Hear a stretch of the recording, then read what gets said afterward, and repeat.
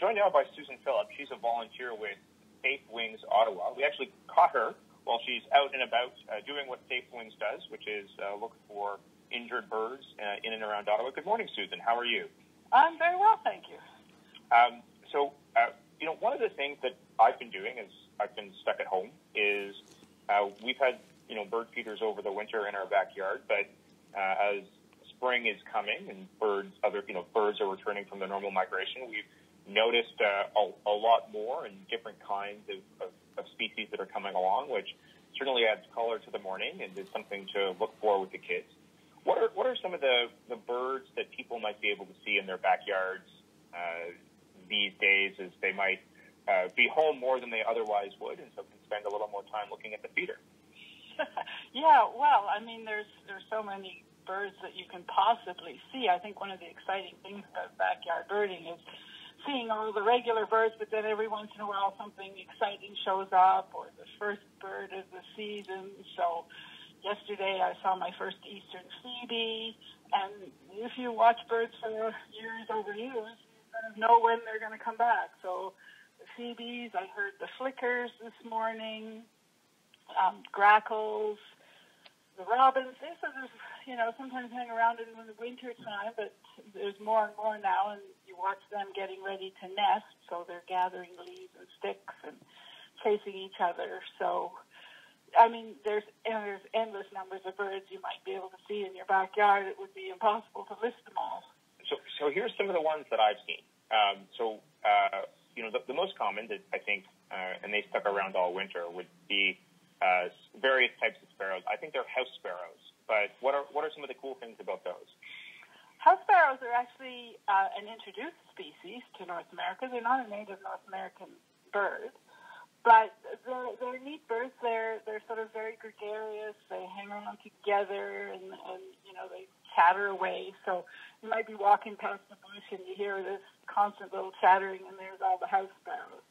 Um, there's other kinds of sparrows that you might see, depending on where you live. I'm not sure they get a lot sort of in say downtown.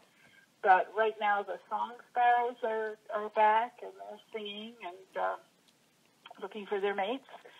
Um, in a few weeks, we'll probably see what are called chipping sparrows, which are really cute little, tiny little sparrows, but very pretty and very noisy. They make a very loud trilling sound, so you might hear those in the trees.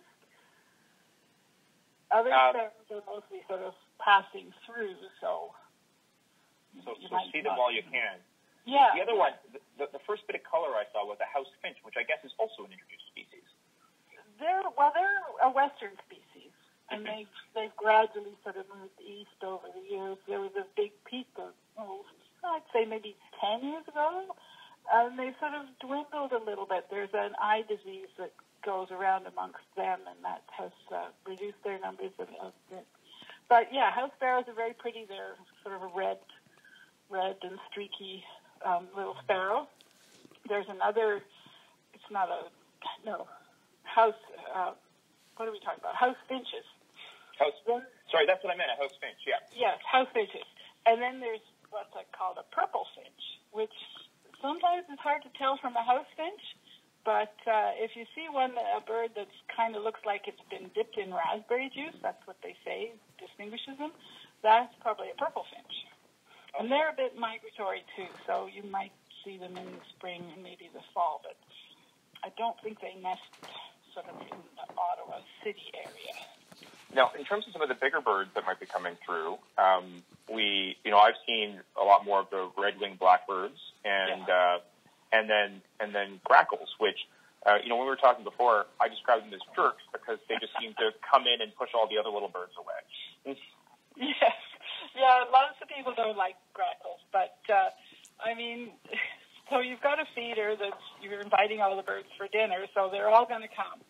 And and obviously the bigger ones, the grackles, the blue jays, sometimes even the red-winged blackbirds, the starlings, they'll sort of come in and chase everybody else away, and they, you know, clean out your feeder so you go and fill it again, and hopefully the little birds will be able to get in there in between, because a lot of birds tend to sort of move around in flocks, so they'll go from one feeder to another. So in between, when they're not there, the other birds get a chance to get in and, and feed. Now, if um, if people are looking to uh, you know catch some of these birds as they're you know not, not literally obviously, but uh, you know encourage visiting by some of these birds as they're as they're passing through, and they might want to have something to you know see on their their back deck or in their backyard.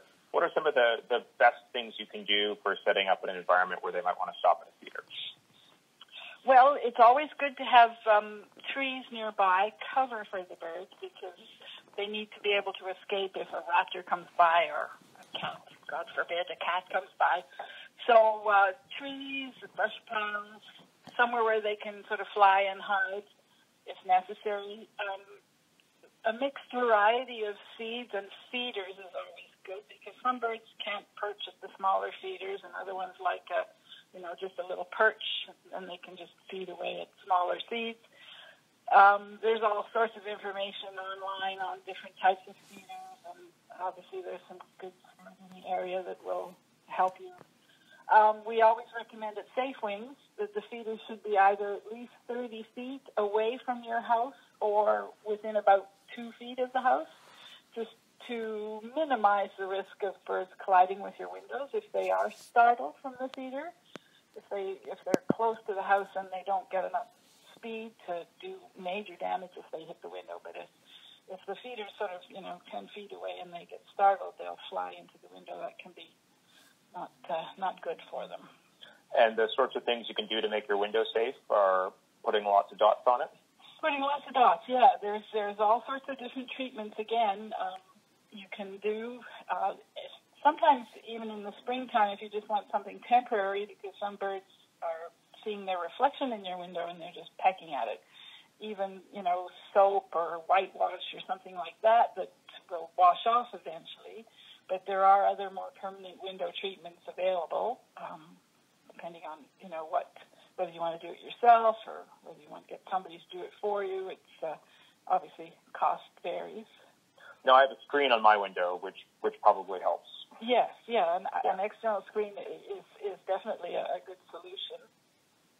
Or you could just not wash your windows, and that probably or you could just not.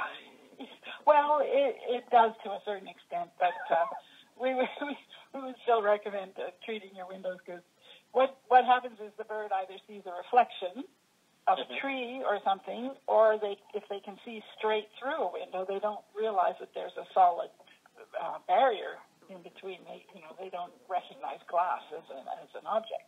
And many if the, sorry, go on. Oh, well, I was going to say many of the birds that you know we pick up that are, are window collisions um, are migrating birds. So they're coming from the boreal forest or they're coming from the south. You know, they, they, they're not used to cities. They don't live in cities. So. Uh, uh, so, and it's a, a worthwhile reminder too. If you find a, a an injured bird to call Safe Wings Ottawa, and you have your number on uh, your website, which I think is safewingsottawa.ca. But that, they'll yeah, provide yeah. advice.